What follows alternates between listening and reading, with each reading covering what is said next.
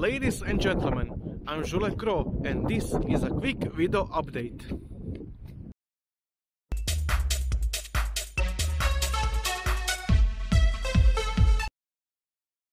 As I walk down the store to get some groceries, I have plenty of time.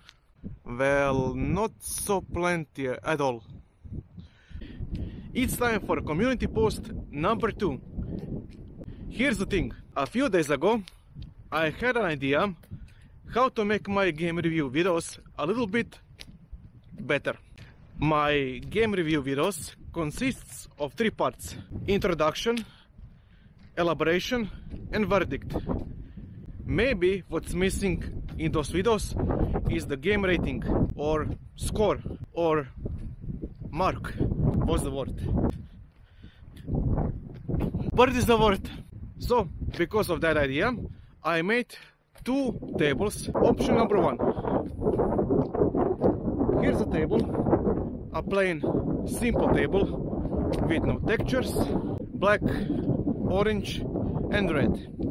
So simple.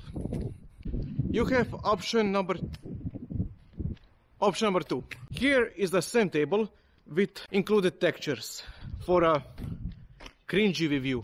And we have option number three. Where's the option number three? Oh yeah.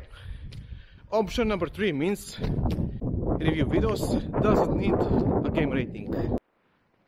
So here's the thing. What do you think? I'm very curious. Leave your comments and opinions in a comment section down below.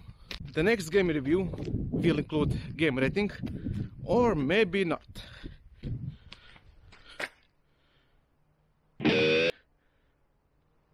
I forgot my grocery list. See you again soon. Bye bye. Oh, well, everybody's heard about the bird. Bird, bird, bird.